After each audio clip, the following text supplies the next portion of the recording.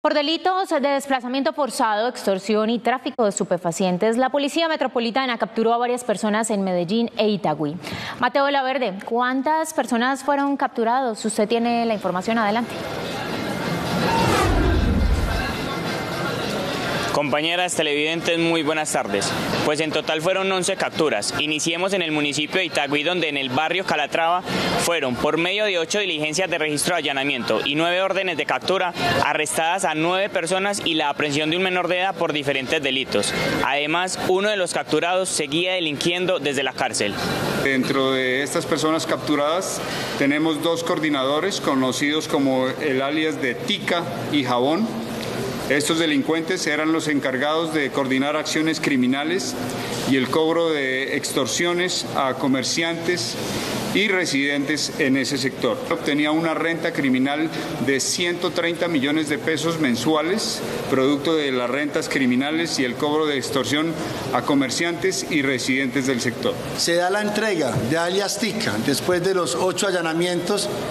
Este delincuente decide llegar a la administración municipal y ante la oleada institucional decide entregarse quien fue de manera inmediata colocado a disposición de las autoridades competentes. Este territorio, conocido como los ranchos o el hueco, territorio donde se les hacía fácil a estos bandidos esconderse debajo de los puentes, debajo de los árboles, debajo de los balcones, para vender las sustancias estupefacientes, para llegar a las tiendas a cobrar. El menor de edad ayudaba a estos presuntos delincuentes a esconderse de las autoridades, avisándoles cuando estos hacían presencia en los territorios. Los nueve capturados estarían implicados en delitos de tráfico de estupefacientes, desplazamiento forzado y extorsión.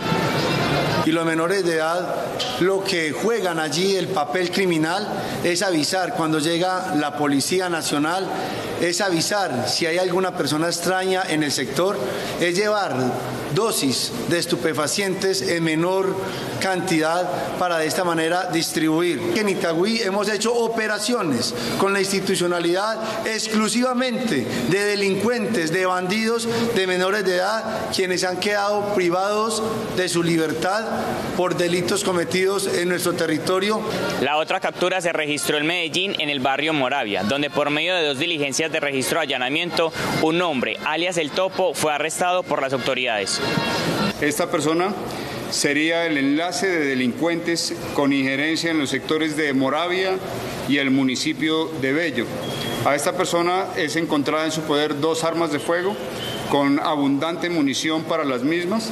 También era una persona encargada de dinamizar temas de tráfico local de estupefacientes. Se encuentran 15 mil gramos de base de cocaína en la diligencia de registro y allanamiento. Durante los dos procedimientos realizados en Medellín e Itagüí, se logró incautar gran material de estupefacientes y de droga sintética. Los capturados quedaron con medida de aseguramiento y están a la espera de la audiencia para la imputación de cargos. Mateo Laverde, Hora 13 Noticias. Cubrimiento total siempre.